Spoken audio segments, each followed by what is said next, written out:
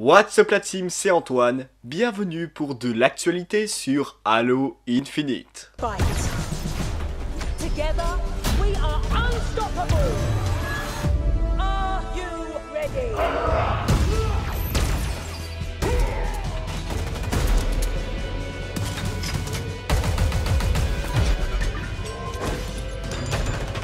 Les premières 24 heures de Halo Infinite multiplayer ont été phénoménales. C'est un véritable succès pour 343 Industries, que ce soit sur Xbox ou même sur Steam.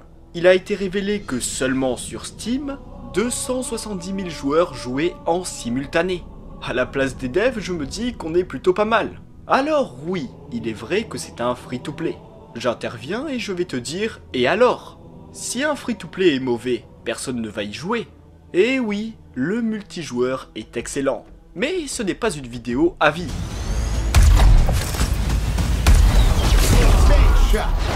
On a reçu de nouvelles informations sur les nouveautés du multijoueur.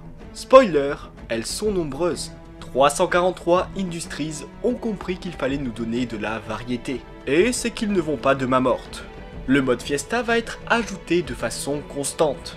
Ensuite, deux événements temporaires vont arriver ce mois-ci.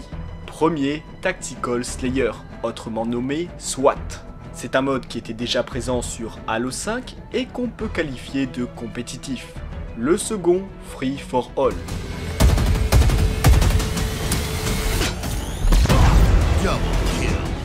Vous faites peut-être partie des gens qui comprennent pas ce système d'événements.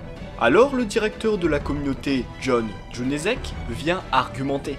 Il explique que l'idée était de tester les modes en événement afin de les ajuster si nécessaire, puis les ajouter aux playlists. En d'autres termes, l'explication est que 343 Industries veulent écouter la communauté, retirer le plus d'avis pour mettre des modifications si nécessaire.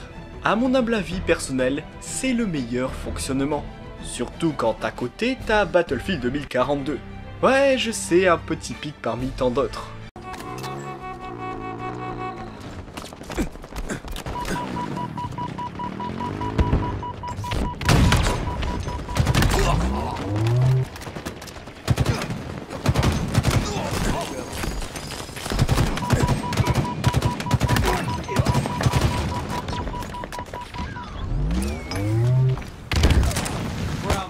Requisition.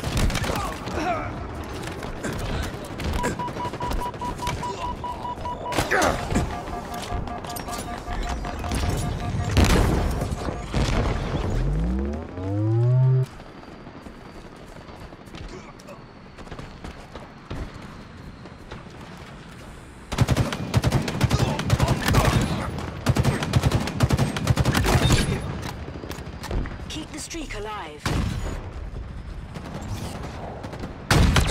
Not much ammo left, Spartan.